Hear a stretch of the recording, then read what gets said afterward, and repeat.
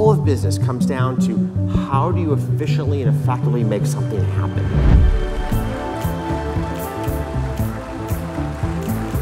The most important skill you can have in solving problems is to put the right people around you.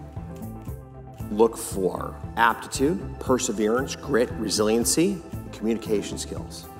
Aptitude, just like sheer intellectual horsepower and that passion to learn. Grit and perseverance or resiliency, because to be blunt, work is about getting through those moments in time where things don't go smoothly, but you've got to have the perseverance. And then communication skills we place a huge emphasis on because we want to have a collaborative environment where people debate and share ideas. We're still in the middle of a technology revolution. That's impacting our economy.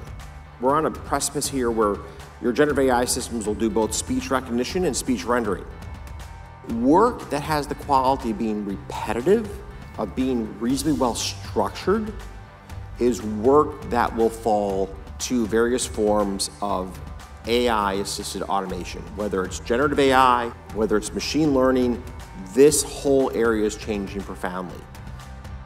These kinds of efficiency gains are really important to our economy. Your generation has to radically change productivity in America. We really do need to find productivity gain to make this economy work for everybody. I would strongly urge everybody who does not have a software engineering background, just one semester or two semesters of programming mm -hmm. or operations research. Understand how to look at a problem, break it down, and then understand what can we automate and what has to be done by people.